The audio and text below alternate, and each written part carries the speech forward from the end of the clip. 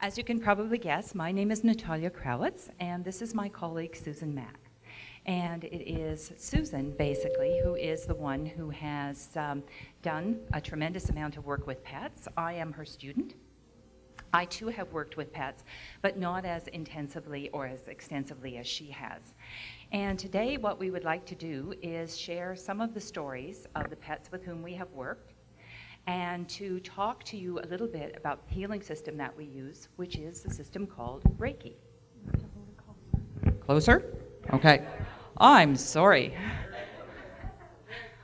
All right, I'll cuddle this. Be very nice to it. I'll pretend it's a pet. Give it Reiki. Okay. Okay, good. Now, I'm assuming that one of the reasons why some of you might be here is because you have pets. So I would just like to take a little poll and find out how many of you have cats? Ah, wise choice, the superior species. How many of you have dogs? Ah, equally wise choice, even though I don't have one. Um, how many of you have other animals in your lives? Ah, okay. So this is very much a pet-oriented audience. Great. Uh, second of all, I'd like to know how many of you are familiar with Reiki? Great. How many of you have received a Reiki session? Okay, and how many of you might have are Reiki practitioners or have shared Reiki? Wonderful. Well, then that means I won't have to spend a great deal of time explaining what Reiki is or is about, and we can talk or focus much more on the pets.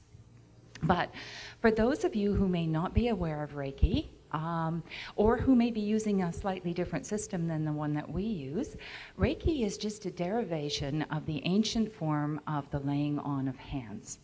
It's a very, very gentle system of healing and it requires absolutely no manipulation of the body tissue. So unlike massage where you are actually manipulating the tissue, with Reiki you are simply laying on your hands. Now, Reiki can be delivered or shared in two forms.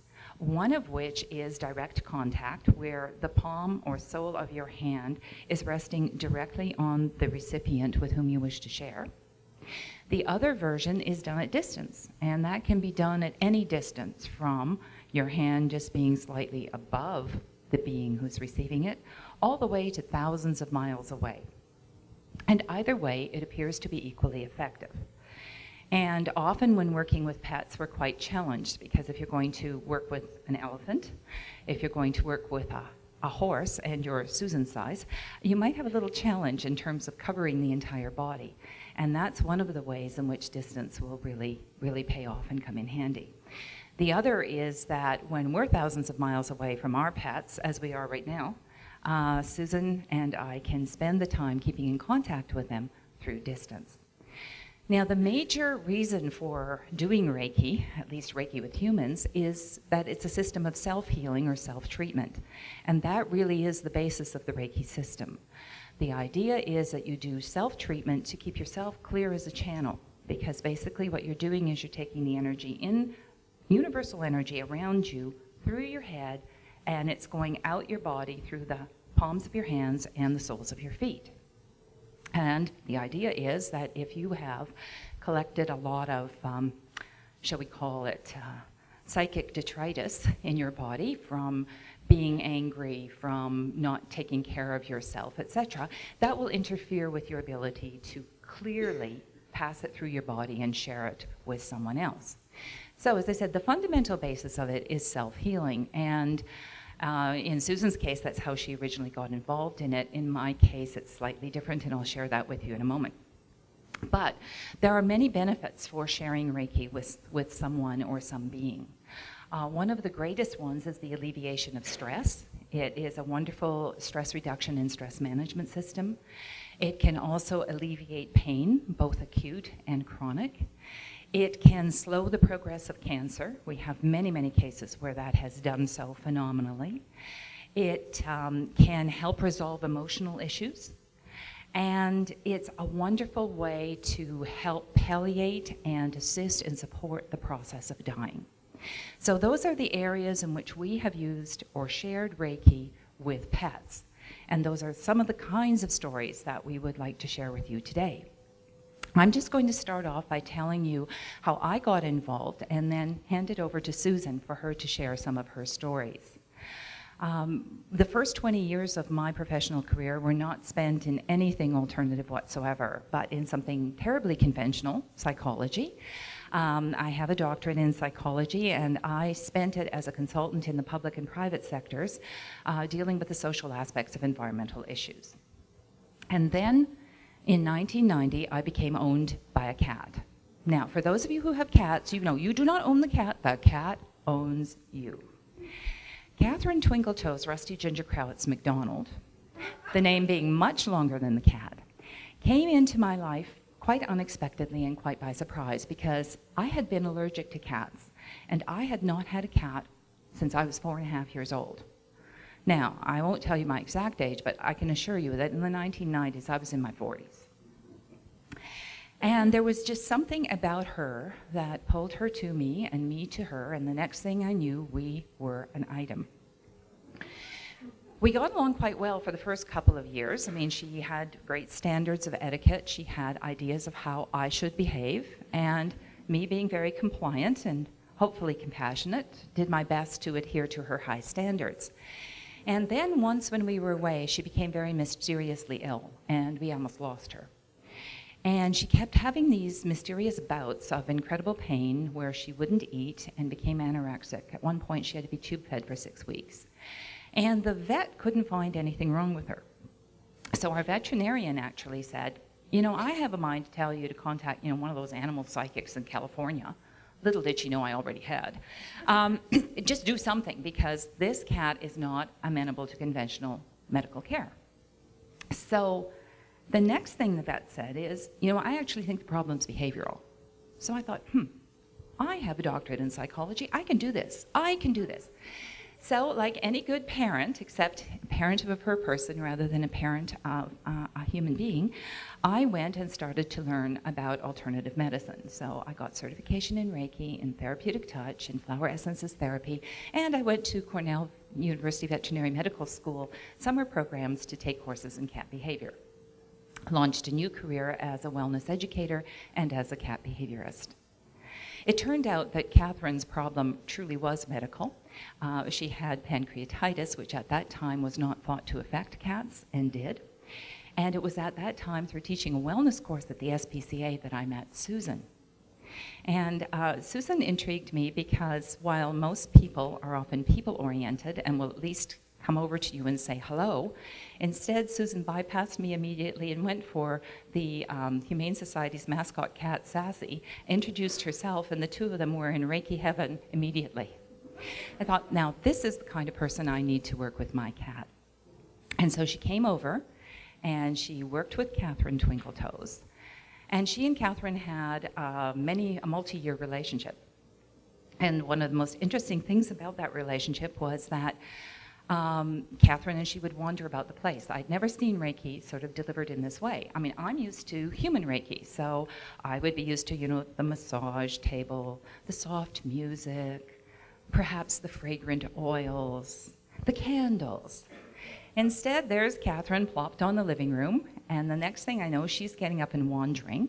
I would have thought, okay, that's the session over. Oh, no, no, no, no. There's Susan following her, following her with her hands, and they're having a conversation. As Catherine's going to the food bowl for some munchies, she's going to the water bowl for some refreshment, and get this. Then Catherine takes her on a tour of the house. But not any tour of the house. Catherine takes her to my closets to show her the dust bunnies. Catherine takes her to show the unmade bed. Obviously, Catherine had an evaluation of my housekeeping that she wishes to get a little message across anyway. So anyway, without further ado, that's how I got involved, slowly, slowly but surely, and became more and more involved with Susan and with Susan's work. But I'm going to hand it over now to Susan so that she can share some stories. She has promised to share some dog stories as well as some cat stories. And hopefully, before the end of the session, I too will be able to get another two cents worth in about some of the cats that I have worked with. But without further ado, I'm going to hand it over to you, Susan.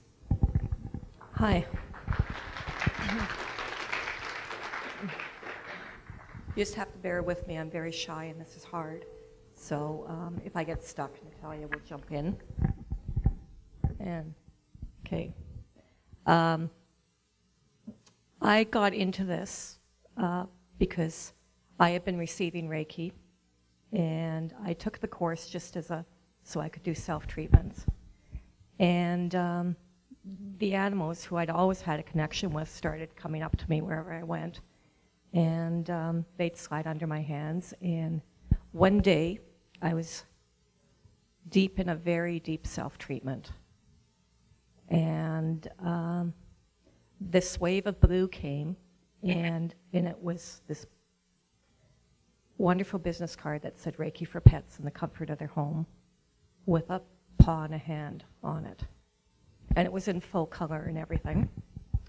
And um, I came out of the self treatment and realized that a long time had passed. That night I couldn't sleep because I kept seeing this business card. It followed me around all over the place. Now, I did not have a lot of money at that time. Um, I was working my way off welfare due to having crashed through burnout and everything.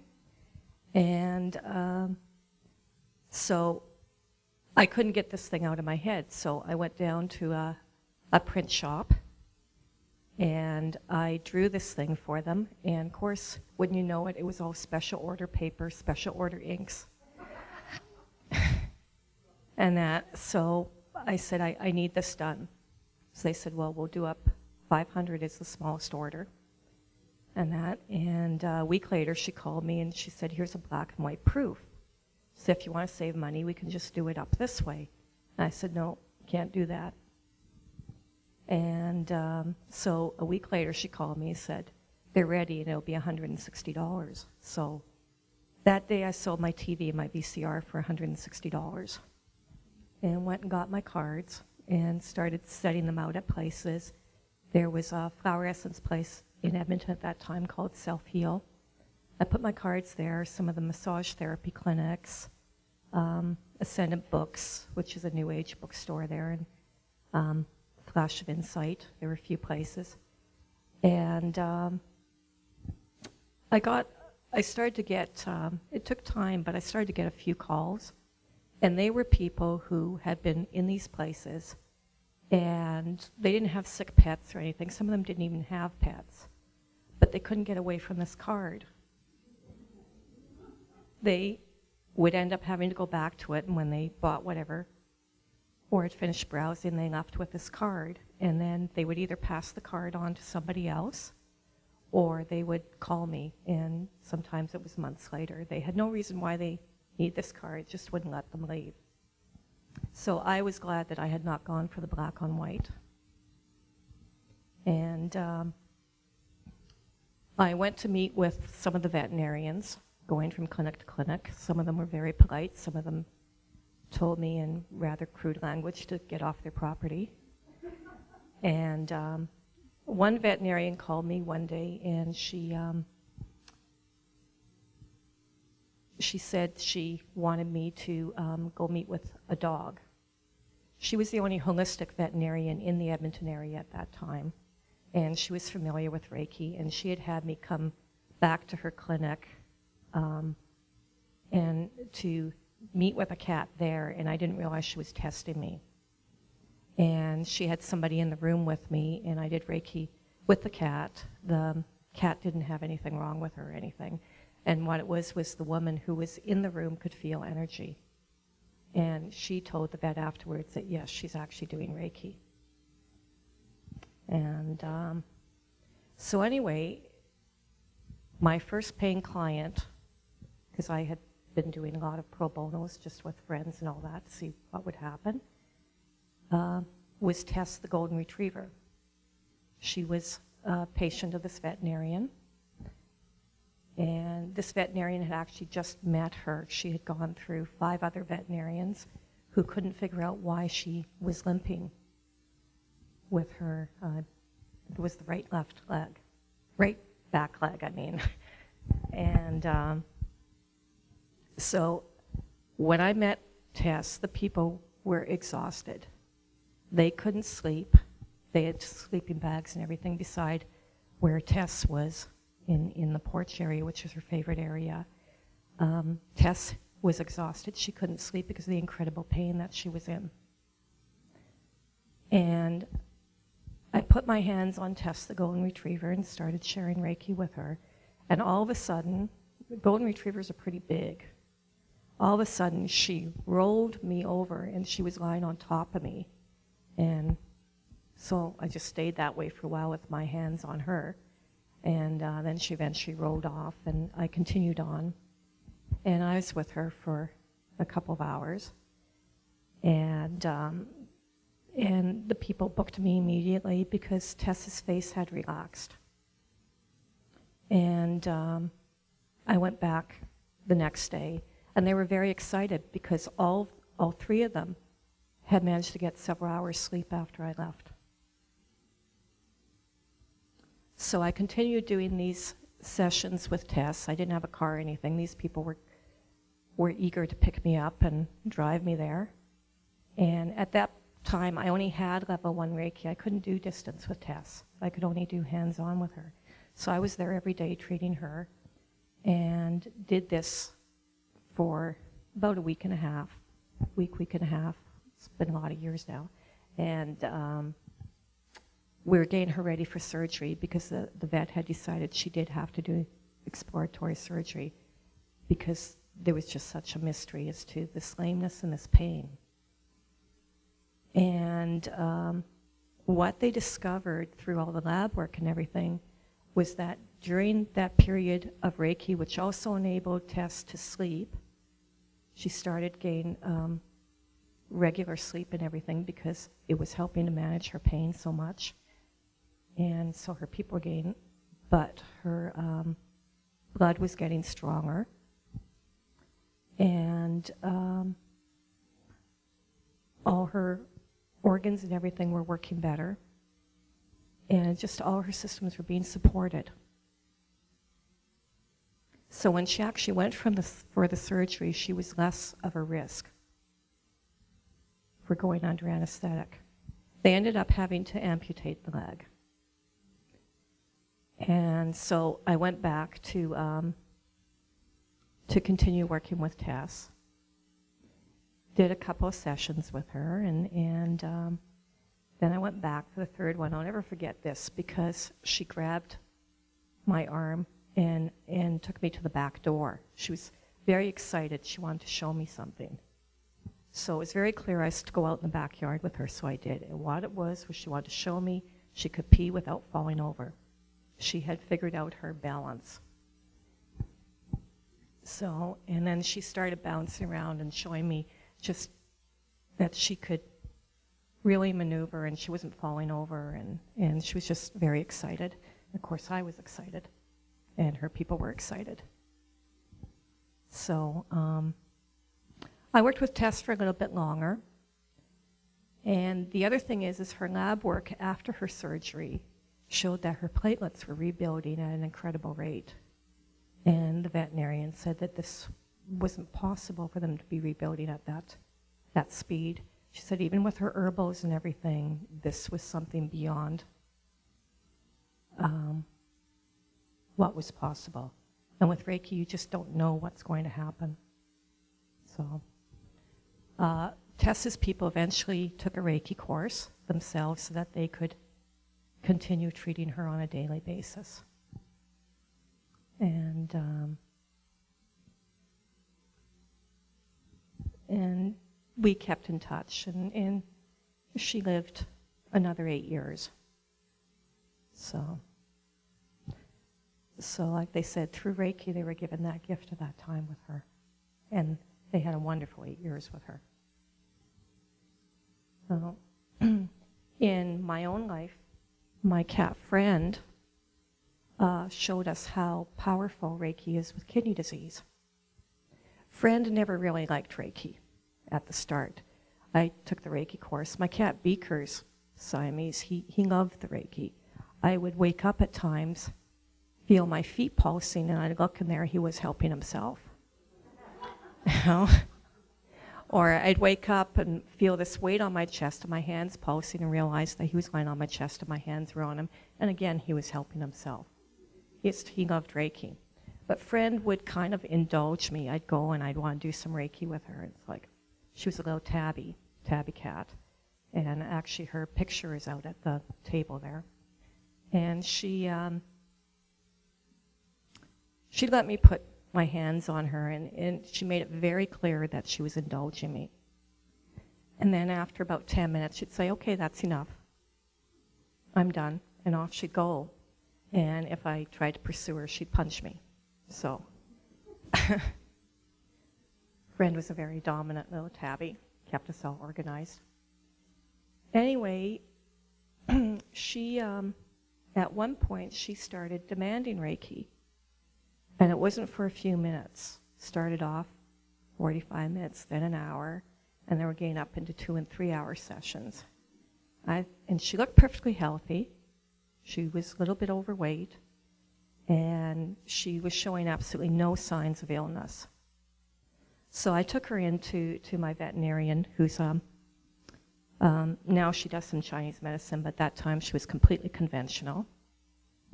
And um, she, um, she said, Why are you here?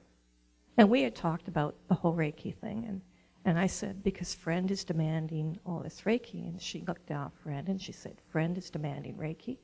I said, Yes. And she picked her up and she said, I'll be back in a few minutes. We're doing blood work. And off she took her for blood work. And she brought her back and examined her. And she says, Well, she appears perfectly healthy through the standard exam. So we'll see what the blood work says. So the next day she phones me and she says, I don't know about that stuff you do, but your cat is in kidney failure. And she said, I would never have thought. So she said, We're going to check her blood every three months, monitor her, and check her urine for her specific gravity, because the specific gravity tells how well the kidneys are functioning because the urine gets concentrated better if they're functioning better. And um, we did that, and after a year, her her values, everything was normal. And Dr. Lambrink said, "This is impossible, but your cat's not in kidney failure anymore."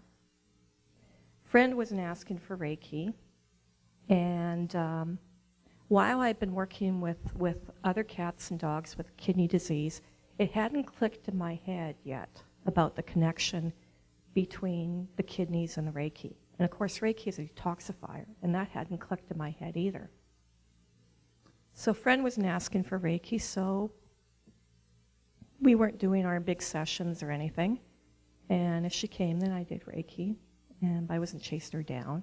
And she'd sit beside me. At this point, I had my second level, so I was doing a lot of distance Reiki, and she'd sit beside me and hitchhike. But that was about it. Well, a month and a half later, here she is, perfectly healthy, and she starts vomiting nonstop. The night before, she'd been tearing around playing, chasing her tail. Her tail was her, her favorite toy. And um, in the morning, it was a Sunday, she started vomiting. I didn't have the money to take her in to emerge. And she kept running away from me, so I just, I was doing distance, and she was really taking it. And I could feel this incredible pain in my lower back area. And um, I ran her into the vet first thing in the morning when they opened, and Dr. Lambrink said she must have gotten into something. I said, no, nothing for her to get in. Oh, she must have. And she said, well, I have to do x-rays and everything. She phoned me later and she says she is ulcerated all the way down her esophagus and her abdomen, her intestines. She says, I've got her an IV. We're starting her on stomach holders and everything. She says, I've sent off the blood. She says she had to have gotten into something. I went to visit friend, and the next day I went to visit her, and Dr. Lambert says, I need to talk to you. And friend is really feisty. Dr. Lambert comes up to me, and friend raises her IV paw and starts shaking it at her and howling and giving her crap because she really resents this treatment. And um, Dr. Lambrink says, Can I talk to you? So I said, Okay. And she says, You know, the lab thinks she's dead. She says her kidney values are so high, she is absolutely toxic. She said, when you brought her in, we should have been able to smell the toxicity, the uremia in the back of the clinic. She says, but she smells quite nice. She says she should be skin and bones, unable to lay, raise her head. She is so toxic. She said, Have you been doing that stuff with her? I said, No. and she said, Reiki has to do a form of energetic dialysis. So I called in favors. There were a lot of people who now had their Reiki, who I'd done a lot of extra work with their animals. Some of it had been pro bono when they ran out of money and things like that. And they had always said, if there's anything we can do for you, please call. And I said, my cat's in critical condition. Can you please start sending Reiki? And there were some Reiki masters who I knew. And um, I called them and they said, of course, we'll help you out. So friends started getting, they set up shifts and they were sending to her 24 hours a day. And I was sending to her. A week later, the vet checked her blood work. Her levels had dropped by a third. And she said, This isn't possible. And I was, of course, visiting her every day. I do hands on there, and, and then I would um, do distance from home. And she said, I'm going to release her because she's now able to hold the food down. She said, but she's unable to eat on her own, so you're going to have to force feed her. And she can only hold down a teaspoon at a time, so you're going to have to get up. You're going to have to feed her every hour and a half round the clock because she needs a minimum of 60 mils of food or she's going to go into fatty liver disease. So this is what I did, and the community kept sending to her, and friend turned around completely. And I had her for five more years before she went into another total collapse. And when we did, um, Dr. Lambrink was quite happy to autopsy her for me because we were both very curious. Because again, when she died, she did not look like a kidney cat. But what happened was she suddenly started vomiting and she swelled up to three times her size. She couldn't pee, her kidneys had shut down completely, and we could not get them going again, no matter what. So she autopsied friend, and then when I came to meet with her, she said, Sit down. She says, This is very bizarre. She says, I will probably never see this again in my entire career, and I've never seen it before. She said, A kidney cat, of course, should be skin and bone. She says, Friend had a very healthy layer of fat, internal layer of fat.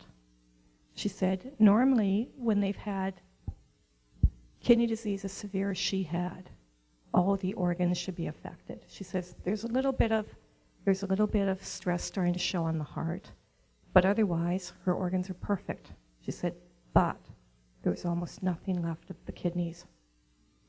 She said, I sent off kidney tissue to find out, and she says, at my own cost, she said, I sent it off to the lab to find out if she had a rare form of kidney disease. She said she didn't. She had the regular kidney disease.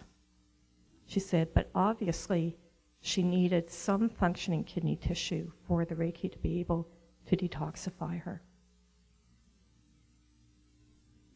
And, um, and Friend, I had worked with an animal communicator through the years with her, and Friend had considered herself a Reiki master in her soul. but, and I'm going to let Natalia tell you about Timmy who is on the front cover of our book. Um, and, and after Timmy, I'll tell you another dog story. Okay.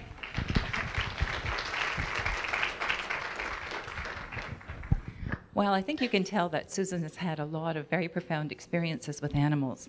What I want to do as I'm talking about Timmy, who is quite a character, is pass you out, uh, pass along some pictures of the pets that we've worked with. Now, I give apologies to all of those of you who have dogs that we do not have a lot of dog photos. I just grabbed what I had, and they all turned out almost 99 and 44, 100% of them to be cats. But one of them happens to be the notorious Timmy. So just have a look. Now, Timmy is quite a character. He's an orange cat. He is no longer with us in physical form, but um, he lived with his person and his littermate and sister Beauty.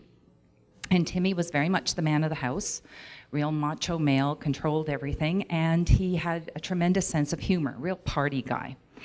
And Susan was called in to work with him, actually at distance. She'd never met him uh, because he had been undergoing some treatment because he was not eating. There were all kinds of symptoms of illness. They uh, were having to tube feed him and do exploratory surgery. And the problem was that after this exploratory surgery, and as he had his tube in, that he was no longer able to eat on his own, and his gastrointestinal functions had shut down. So there was no evidence of any activity in the stomach, in the intestine, in the bowels. And this cannot go on on a continued basis without being life threatening. So Susan had been called in, and I gather what your first session with him? Within the first session with him, Susan and he get together, and the first thing they start hearing are stomach sounds which is a wonderful signal that the GI system is now starting to come back in track. And within 24 hours of his first Reiki session, he uh, was starting to function normally and starting to process his food. First step on the road to recovery. Now, I'd love to be able to end the story there and say, okay, he's there, he's on the road to recovery, hallelujah. There was, however, a fly in the ointment, and that was that as a result of the exploratory surgery, they'd done a biopsy and they had discovered lymphosarcoma. Lymphosarcoma is a form of cancer, and it is very typical at time of diagnosis in a cat that regardless of whether or not you treat it, your cat has between six and nine months to live. So this was Timmy's prognosis, and uh, Timmy's person was impressed enough with the Reiki that had occurred that she continued to retain Susan to work with Timmy as he was preparing for uh, this degenerative disease. Except that Timmy didn't quite degenerate the way that the veterinarians had expected. What would happen though is that Susan would visit him very regularly and they would have their private and quite intense sessions. And um, from time to time, he would have bouts of considerable pain. So he would have these Reiki sessions, and then for several weeks or several months, he would be perfectly fine. He'd have high energy levels, he'd have a great appetite, he'd love to play. He loved to hide on Susan so that she would have to go and start yelling through, Where's Timmy? Where's Timmy? And he'd jump up behind the curtain to frighten her. These were the kinds of things that he really enjoyed doing. And then, as I said, every so often, sometimes unexpectedly, Susan would sometimes say, You know, I think I, am hearing from Timmy. I'm, he- I'm getting this pain. I, I know where it is, and that's Timmy. She would go to see him. He would have stopped eating. He would be lethargic. His coat wouldn't look good. And this would have happened quite suddenly. And during this time, she would know that she would have to work with him, sometimes two, three hours at a time, in order to help him work through his pain. So they had this little system where she would always schedule him for the last of her appointments because she would never know how long it would be. And um, he would start working with her, and they would start sharing the Reiki. And because Susan is clairsentient, which means that she can feel an animal's pain in her body, um, it's not the animal's pain, but she can actually feel it, know sort of roughly where it is in the animal. She would be in this incredible pain as they were sharing the Reiki as well. And one of the things that really fascinated me was her descriptions of this kind of pain, because every single time the pain was different. So she said there was one time the pain was absolutely freezing. You know, that kind of freezing cold that is so cold it burns you. So there's Susan kind of hunched over in this burning, freezing pain working with Timmy. And Timmy sends her this telepathic image. And here's Timmy and he's dressed up like like a welder, and he's got a blowtorch.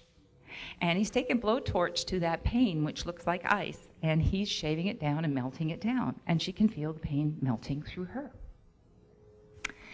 So another time, and, and one of my most favorite images, uh, was the time when she had this vision of Timmy as they're working. And Timmy is dressed up in Wellington boots, Wellington boots, hip waders, right up to the hips. He has a yellow slicker raincoat on with the matching yellow slicker hat. And he's do- and he's got lab gloves, but the lab gloves go all the way up to his armpits. And the reason is, as he's working with his pain, the pain feels really slimy and it's splattering all over him as he's dissolving it. So every time that she and Timmy had a session together, she wasn't quite sure what image Timmy was going to send her and exactly what form that pain was going to take. But as Susan tells me, there were times that she was working with him that there would be tears streaming down her face because the pain would be poker hot or ice cold or jabby, and she would feel these sort of rough jabs coming out her side as she's working with Timmy. So you can see that there was kind of an extraordinary rapport. Now, the interesting thing is that um, Timmy was going to make sure that he had a lasting impact on Susan. And from what we understand, Timmy was a very strong force in having us write the book, My Teachers Wear Fur Coats. So we were quite interested in what was going to happen with respect to the cover, and Susan and I had talked a lot about whether or not we should request that some of the animals that we've worked with actually appear on the cover. Uh, we didn't sort of forward that request to our publisher. Instead, we just sent some vague instruction, and they had similarly given some instruction to their graphic artist. Now, I want to show you what came up.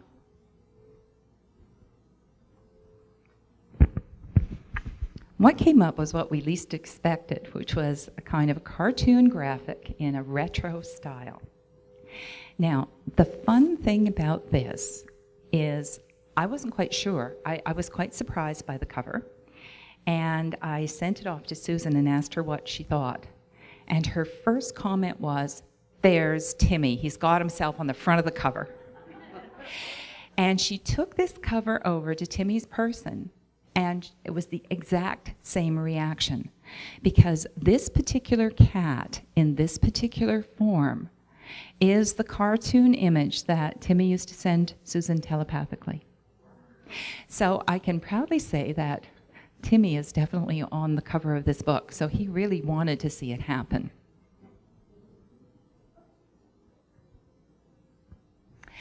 The other thing I can tell you is that although Timmy is no longer with us, Timmy did defy that veterinary prognosis. And I'll tell you by how much. As I, as I said before, the average prognosis for cat diagnosed with lymphosarcoma is six to nine months. Timmy died five years after diagnosis. Quite a testament to Reiki.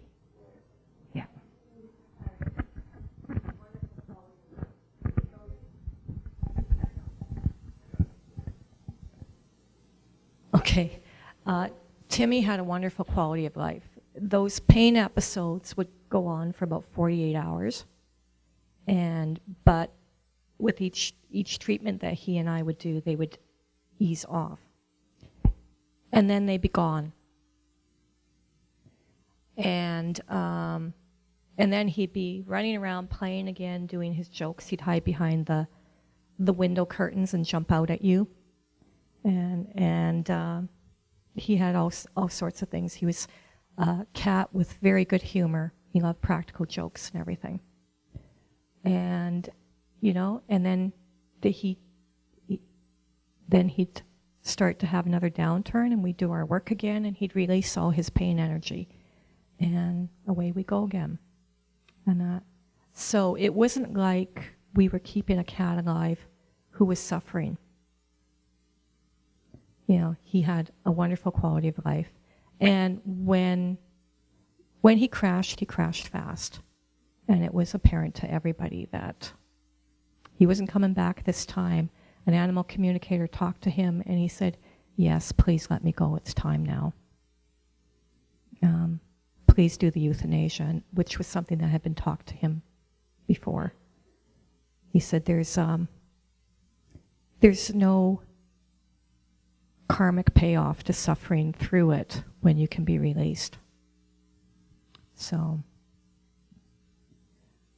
Timmy also, in one of my treatments, gave me a wonderful gift about how um, Reiki helps with the time span with, with cancer. I was doing a distance with him one day, And I got this vision of an hourglass full of sand. And the sand was pouring down quite quickly. And this wave of blue came in and pushed the sand back up. It couldn't push all of it back up, but it pushed some of it back, a lot of it back up. And, and then the sands of time would start again. And this would come in, but eventually the hourglass did empty out. And I realized that he was explaining to me that what the Reiki does is Reiki isn't linear in time or anything like that. Is it just tr- transforms that time and slows it down? And in essence, gives them more time. And I thought that was a wonderful piece of information that he gave me because it was something I'd been thinking about. So, now I'd like to talk to you. Um, do any of you have greyhounds? Oh. I have a greyhound friend, Y. She's 14 and a half now. And um, I've done a lot of Reiki with her over the years. I met her, I do some work with um, a breeder of American Cocker Spaniels. And um, Y kind of watches over all the Cocker Spaniels and, and everything. And um, one day, um, Y is also different from the other greyhounds I've met because she's never been on a racetrack or anything. She's been a pet from the time she was eight weeks old. And um, so with Y, it was really interesting to meet a greyhound who didn't have any emotional issues at all. Um, she's um, completely self confident and happy. She's never had any emotional trauma that happened to her. Anyway, she um, one day she was going out the screen door and she didn't move fast enough and her tail got slammed in the door. So her person took her to the vet and they had to amputate part of the tail and they sent her home wrapped up in bandages and everything. And um, her person had me come out and do some Reiki and stuff, so I did that. Um, but she didn't think it was necessary for me to do any intense work or anything like that. So we didn't. Anyway, they they unwrapped the bandages when she went back for her recheck, and dry gangrene had set in. Gangrene? Yeah. Dry, the dry form of it. And um, so they had to do amputate more of the tail. And I was there that time, and the um, veterinarian, uh, who is also a greyhound breeder, told us that circulation in, in, tails of any dog is bad, but with a greyhound, it's particularly bad. And when they get these kinds of injuries, they end up continuing to amputate until there's nothing left. And they said, so brace yourself for more surgeries. So we went home with Y, and her person said, I just want you to do your thing. So I worked very intensely with Y, and I she would lay there and let me um, hold her tail, and you could feel it would be ice cold down at the end, and I would just keep holding her tail until everything warmed up, and then I'd go and I'd do full body with her because it's very important that full body get treated as well. And then at night, I had um, uh, tiger, a toy tiger with a tail, and I would sit and I'd send distance to her and I would hold the tail of this tiger. And again, I, it would start off really cold and it would warm up. And I, I would do this a couple times during the night. And we just did this on a daily basis. When Y went back for her recheck, her tail was healed up. It's the first time that they had never had to continue with amputations. So, and Y? Um, because she runs under barbed wire and things, has taught us a lot about how quickly injuries can heal with the assistance of Reiki. And that, and she's also quite a diva. If I arrive there and she's got a little scratch, she's collapsed on her couch and can't raise her head. She just raises her paw a little bit and looks at me with sad eyes until I sit down and do some Reiki with her. And then she bounces up and says, I'm fixed. so she's quite funny. And um, 14 and a half is very old for a greyhound, so I just appreciate every day that I have with her. But she's still out running every day in her, on her land and everything. Um, a cocker spaniel who used to live with Y. Her name was Victoria, and uh, Victoria had a rectal tumor, and um, it was benign, but it was so wrapped around everything that it could not be removed. And she would have a lot of rectal bleeding. And I would do distance Reiki with her, which was very uncomfortable for me because that's not an area I like to feel sensations in. and the Reiki would stop the bleeding. So every day I would go there and I'd do distance with her. But started taking longer and longer. So um, this is one of the reasons I went on for my mastery so that I could work with a higher frequency of Reiki. And it was, it was um, very uh, dramatic, the change that happened. I continued doing these treatments with Victoria. And um, lo and behold, this sensation in my butt end went away. And so I, I was out there working with the dogs, and I, and I said to Marnie, I said, you know, I'm not getting that sensation anymore. Like, what's going on with Victoria? You know, Victoria's running around all over the place. She says, Oh, didn't I tell you? She says, I took her into the vet, and um, the tumor had shrunk down to where they could remove it completely. It's not there anymore. I said, Well, I would have appreciated that knowledge. Because Victoria never told me, other than the sensation going away. She's just happy to have her sessions. we unfortunately um, lost Victoria a couple years later because she was recovering from hemolytic anemia when a salmonella outbreak went through the kennel. And uh, she crashed before we realized she had caught it. So, and because she was on steroids, her system could not, didn't have a chance. So, but, um, yeah, talk about Simon. I've got one more story, then questions, if that's okay. You bet, you bet. Now, for this one, I have to go up to the podium because this is a very emotional story for me. So I've written it out, otherwise, I'm going to lose it. Okay. Um, it's a story about Simon, a, a, cat who was very important in my life. Uh, when I first met him, he was 16 years old and looked like a Holstein cow. If some of you see the picture being passed around, you'll know that he has a black mask around his eyes and his little pointed ears, kind of looks like Zorro, little black nose. And his markings were so unusual and so symmetrical that I swear he could have won Best Cat in any cat show. Anyway, when I first met him, he'd been branded a troublemaker. He had been astray by the time he was 18 months old, had been taken in by someone who had a cat family of two, and didn't have the heart to have him adopted out. So that's when the trouble started because her resident male took one look at Simon and declared war. So the battles took place in the home using the weapons at hand razor sharp claws and urine to do both bodily injury and, as importantly, to mark areas of territorial importance.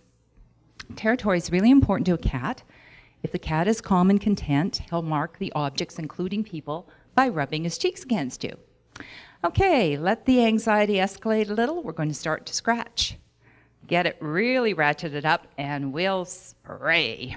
And that's what these boys did. 15 years later, I get a call as a cat behaviorist to come and negotiate the peace. I looked at the house, it told me the story. The carpets on the, all of the stairs were completely shredded. The furniture was sprayed with urine, and some of the walls had been so soaked with urine that they had needed replacing. In fact, the man of the house was in the middle of replacing the drywall.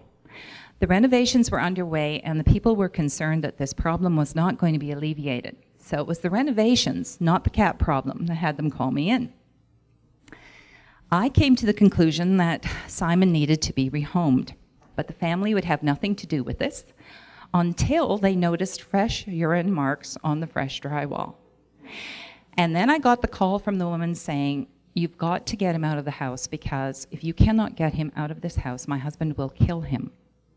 And I'm not meaning euthanasia, I'm meaning something like taking the cat and flinging him against the wall until he's dead. Now, I've had, as in a course of being a behaviorist, I've had many calls from people who wanted me to take their problem pets off their hands. But this one I really felt was very, very serious and needed correct action. So I arranged for Simon to be adopted to me formally. I took him to a veterinarian to make sure that he didn't have any medical problems that were causing these issues. And he was fine, except for having hypothyroidism, which is a form of thyroid dysfunction that's quite common in elderly cats. What was interesting that had happened was that from the moment Simon left his former home, he never once urinated outside the litter box. And that gave me cause for hope that I could put him in a good home. So the first lesson I got from Simon was no matter how long you've had a bad habit, you can always shake it. It wasn't always easy to place a, a, cat, particularly one who's elderly. I mean, he's 16 at this time, he has hypothyroidism. Um, my own cat had zero tolerance for newcomers, so that didn't seem to be uh, uh, an option. I put him in a luxurious boarding facility. Susan and I visited him. We watched him play floor hockey with a tinfoil ball, etc. But uh, you know, a month had passed and there was newcomers. So I decided I had to take him home with me. I had a special door built in my home, which is two stories. He would have the upper floor. The resident cat, Catherine Twinkletoes, would have the main floor and we'd probably have to live a split existence for the rest of our lives. Okay, and that's what behaviorists would tell you is that when you're trying to integrate two elderly cats who haven't got a history of getting along with others of their species, you know, just give it a rest, live and let live. Four days later, Catherine and Simon were living quite harmoniously on the same floor which just taught me my second lesson from Simon, which was always prepare in advance for what to expect, but also be prepared for the unexpected. Okay.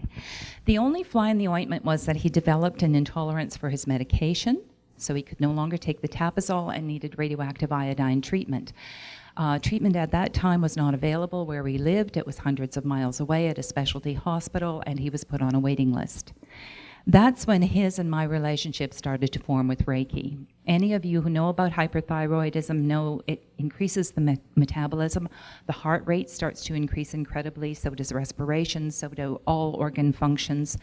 Um, the cat will often eat voraciously and yet starve to death if untreated. So, one of the things I did was I made a commitment to him that we would have a 30 minute Reiki session twice a day, once in the morning and once in the evening.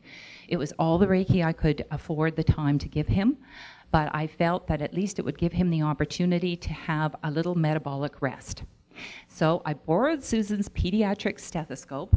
I would take his heart rate before the session, which would be well over 200. I mean, it would be so fast I couldn't even count it. And then we would begin the Reiki session. And the interesting thing was that for the first 10 minutes, time would drag. I mean, I would swear we'd been doing Reiki for an hour, and I'd be constantly and constantly looking at the clock. And then, almost like clockwork, at, within the 10 minute mark, something would really shift, and it would shift really quickly. And the next, the rest of the session would just fly by. And at that mark, his heart rate would be normal his respiration would be normal, and I could only assume that the rest of the body functions were normal. So at least he was getting a bit of a break. Uh, the time came, we ended up taking him. He was successfully treated for the radioactive iodine, um, etc. And then two months after his treatment, he had to be retested just to make sure that the uh, treatment was completely successful. Instead, what happened is it showed that his blood results uh, were far worse than they had been when he had gone in for treatment. I became hysterical and absolutely demanded that the lab rework all the blood. They did. And the results were terrible. The veterinarian said that in cases like this, what happens is it's not hyperthyroidism, it's cancer. So she x rayed him and she found a whole series of grape like clusters in his lungs. So we were told to take him home and to just make him as comfortable as we possibly could. And I vowed after him having such a hellish life that I was going to do everything in my power to make him have the nicest summer he could possibly have, just lying on the deck and watching the birds and enjoying the sunlight. And so he became less tolerant of eating food. I had to make him special chicken in a crock pot. Uh, so that's why one of his names is Mr. Chicken. And uh, we let him stay on the deck. He soaked in the sunlight. And we just sent him lots and lots and lots of Reiki. And over the summer, he started to get a little better, a little less lethargic. His coat started to get a little better. He started to have a little more interest in life. By the end of the summer, you couldn't even tell he was ill. His coat was healthy, he was looking good, his appetite was normal. And so I took him back to the veterinarian to have his blood work redone. Thyroid levels were almost normal. They were like within seven points of normal, which was incredible. And the x ray showed no grape like clusters, whatever. They had gone. So we were all overjoyed and ready to celebrate and have a great party and stuff. And we had a wonderful time with Simon um, until the next, the next year. And in the next year, I started to think that something was going wrong. By this time, I'd been really confident. I mean, after all, you know, cancer was away, the thyroid was fine, so um, I didn't even worry. And I must admit, I was quite lax in the Reiki sessions. And uh, I said something was wrong, took him to the veterinarian. The veterinarian said, no, all the tests are normal. And so, at uh, being concerned that the possibility of being branded hysterical, I kind of laid off the vet until the fall when something became seriously wrong. And by that time, what had happened is he had developed lymphosarcoma. And so Simon was not with us uh, for very much longer, although he had taught me a number of lessons. And it's the lessons I want to share with you because I've really applied them to my life. And that's one thing I think that is, is very useful to know is not only can Reiki be a gift that you can share with your pets, but it's also a wonderful method of self-discovery. The lessons that Simon has given me that have stood me in good stead have to do with me ridding myself of a bad habit, just like he had that bad habit of urine spraying and aggression. My bad habit has had to do with my romance with food. And about two years ago, I decided to say goodbye to an excess of over 100 pounds. And throughout my life, I've always battled with diets, with physical regimes, and they have not been successful. Instead, I used Simon's uh, modeling because I knew that if Simon could overthrow a bad habit literally overnight, then it should darn well be possible for me to overthrow one as well. And so I used that and the other lessons he told me the lessons about being prepared for the expected and also for the unexpected have got me through many an unexpected social invitation that has revolved around food or dinner in a restaurant. I learned that my small commitments to his regular sessions showed me the importance of being diligent and making small, regular, continued commitments rather than extreme efforts to myself. And this, frankly, has been the way that I have managed my weight. Now, I'd love to say that my weight management issue is a thing of the past. Uh, I have been able to maintain this thanks to my diligence and thanks to Simon's lessons for the past two years. However, a lifetime of habit, the presence of stress, and my genetic inheritance can sometimes get the better of me. And it is even then when I think back to Simon's lessons in resilience and how he kept bouncing and bouncing back, because that has given me the inspiration to keep bouncing and bouncing back with the weight problems of my life. So I just want to reiterate that truly our teachers do wear fur coats, and we have had many, many life lessons from pets.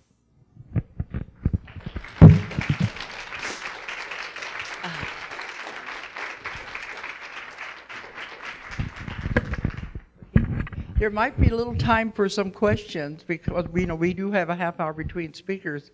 Does anybody have anything they want to ask these wonderful women? About your pets or anything? Oh, there's one back here. Okay.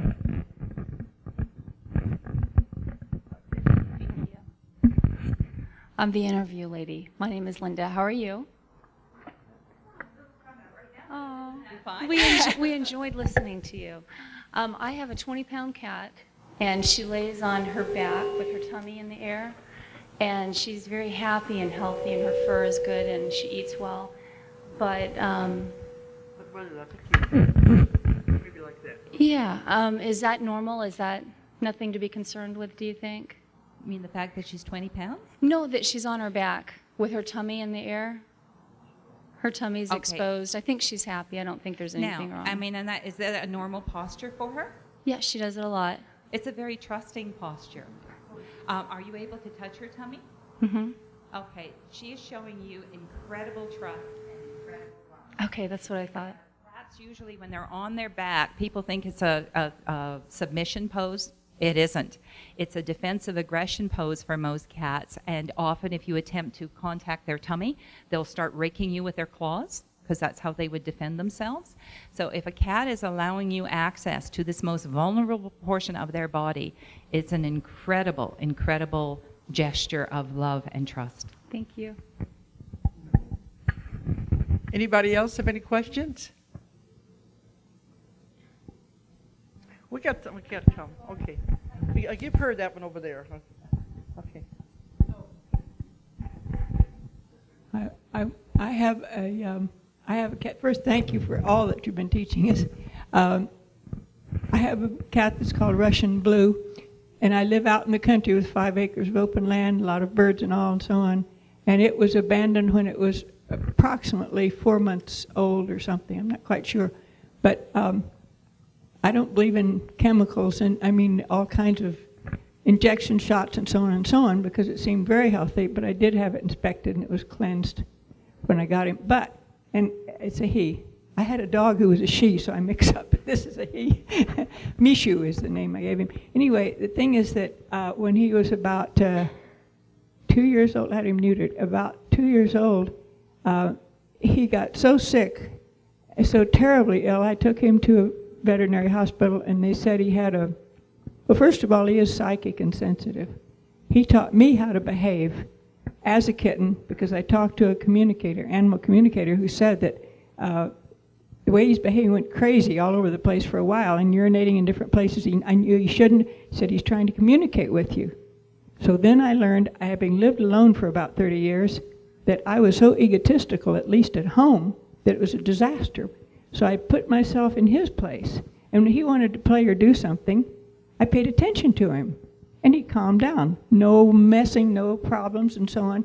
But he did get very sick when he was two. And so um, it turned out that I had been feeding him, if I dare mention it, food from Walmart. I'd been just packages of different kinds of things, and I didn't know what to, what else to do. I hadn't had a cat since I was a child. So finally, I got two books on how to feed and heal cats with natural foods, organic foods, and uh, I did have to give him medicine and all. But finally, he got completely transformed. Now he's about five or six. He's very healthy. He's very psychic, and in fact, he does run my life because I have a sliding glass door. He- has a little door to go in and out. And um, also, I taught him a few things. I taught him that he had to respect me if I respected him. He would always come and meow to go out before I put the cat door when I was eating. I was sitting at the table. I'd be eating dinner. I'd be eating lunch or something, and I'd sat down. I played with him, but he would come. and He even crawl up on the, get on the chair and scratch at me and all to play. And I finally learned that he understood what I was thinking. It took me a while to realize this. So I said, I would say to him, no. I learned I didn't have to have a long explanation. He learns the word no meant no. I'd say, no, I am eating. I'll let you out later, or I'll play with you later, not now. Well, within about a day or two, he came to understand that.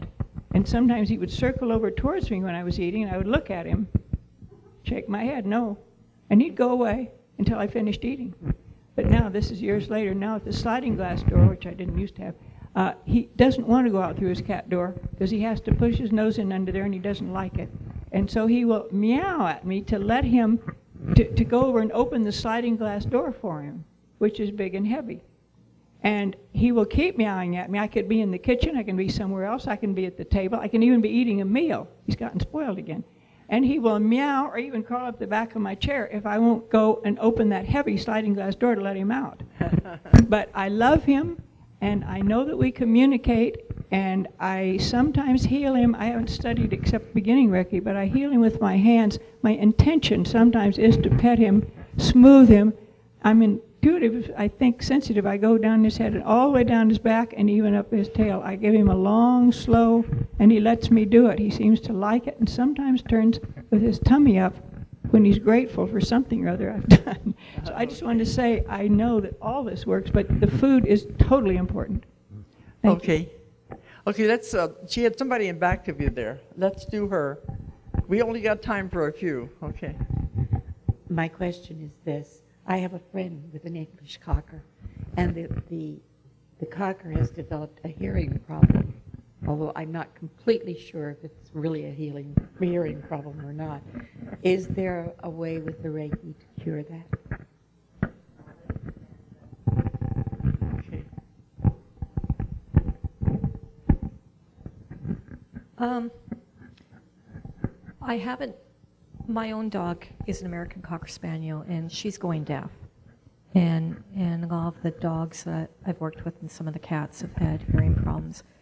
I haven't known the Reiki to cure that, but what I have seen is that the Reiki sessions that I've done with the animals have calmed the people down to where um, there is an acceptance within the family of the hearing problem and and the animals adapt really quickly to hearing loss, blindness. I lived with a blind, my cat Beakers um, lost his eyes at the age of six, and he adapted and, and everything and lived for many years. But um, no, it won't cure the hearing problem, but it helps with the emotional adjust, adjustment. And like I said, the animals don't have the issue with adjusting, it's the people.